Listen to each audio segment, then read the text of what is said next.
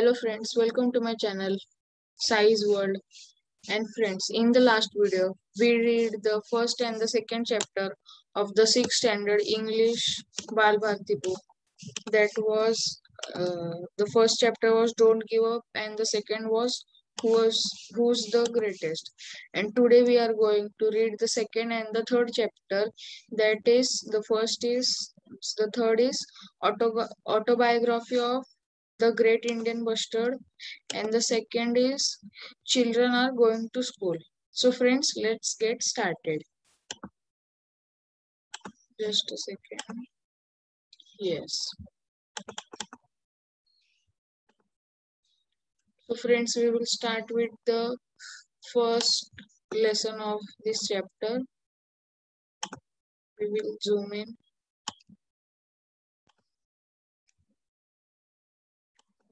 Oh. Where's it? Yes, now. So friends, let's start reading this chapter. So friends, name of this chapter is The Great Autobiography of a Great Indian Bustard. So let's start. Okay. Okay, okay. Yes. So now we will start.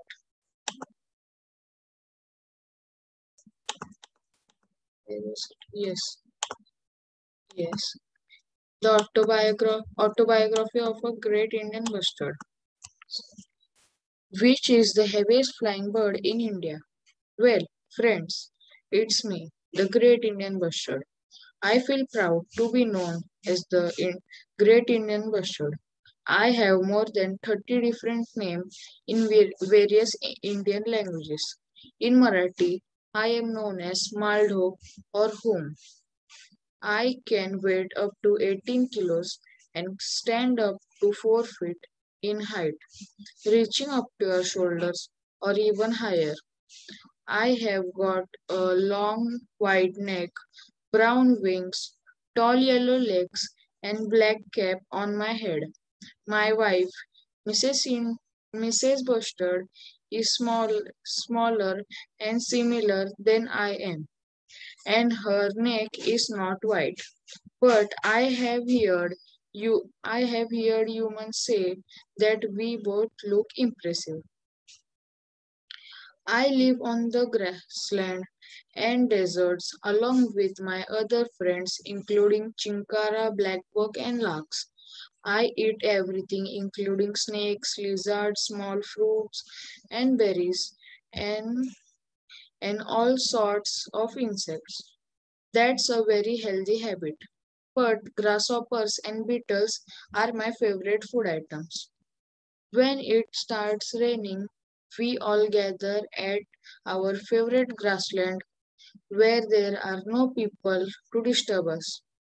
I perform wonderful dance by gulping air in the special feathery pouch attached below my neck. This pouch helps me to produce a resonating sound similar to the one produced by the cow. Hmm.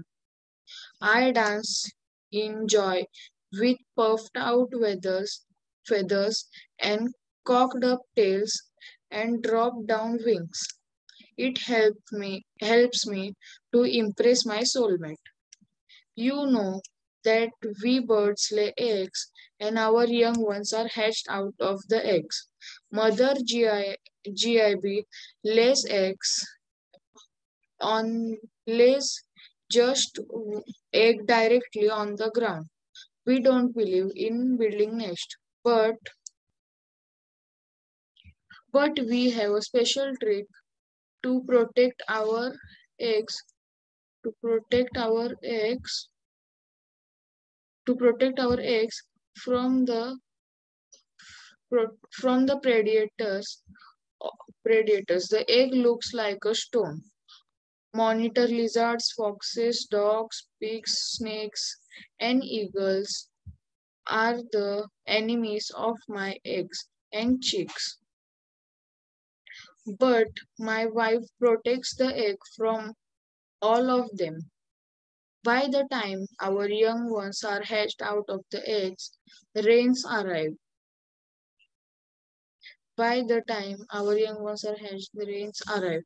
There's plenty of grass, swarming with insects, fresh food for my family, young ones, young ones of other birds soon fly away from the nest.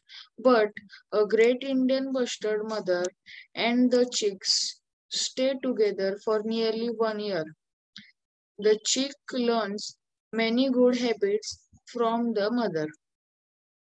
You may have heard about the great human friend of ours, Dr. Salim Ali. He had even suggested that we should be given we should be given the status of the national bird of our country. But the honor went to the beautiful relative, the peacock. I am happy to tell you that I can I am the state bird of Rajasthan. We have got 10 centuries for our protection. But sadly, our number is still going down. We used to live in all parts of India, but slowly of the growing population of man pushed us away from more than the 90% of our home regions. We are afraid of hunters that kill us for fun. We also die due to the electric power lines that we can't see while flying. We are losing our homes today. Only at least 200 of us are left in the world. We need your support and love in order to survive. Can you help us? You can write letters to your leaders and make an appeal to help us. You can you can make my drawing and help and submit it to your teacher. You can discuss this with your parents. Come us to see us at the centuries because now you will not see us in another places. And who knows if human don't help us, none of us will be left on the earth. You will see us only in pictures.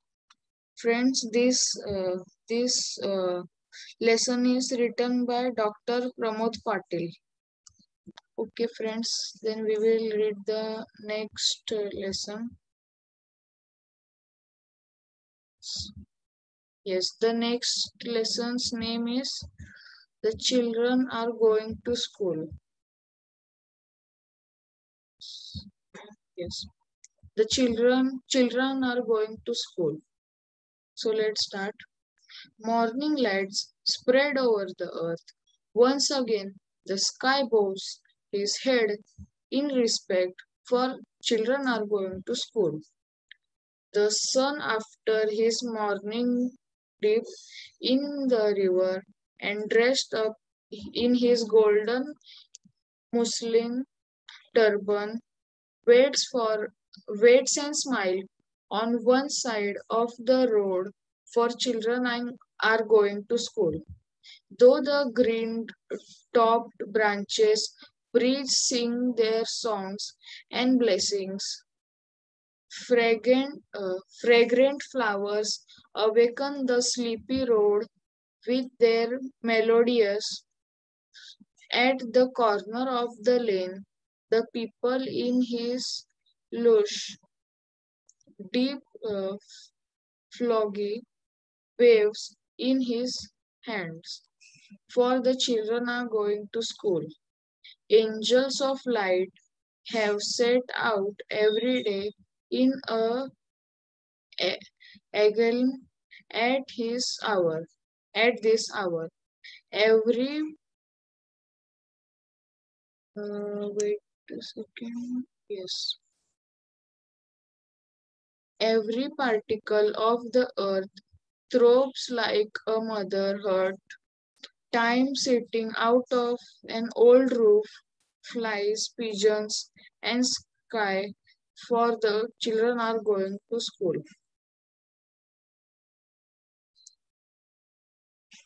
so friends this uh, this poem is written by translated from means this poem is not in english. It is translated from vanchi to english. And this this is written by nida fazli. Okay friends.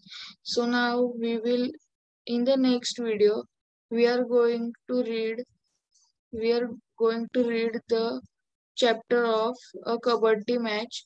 And the second chapter that is uh, the peacock and a crane okay friends. So bye for today. Like like this video share it to your friends and relatives and subscribe to my channel.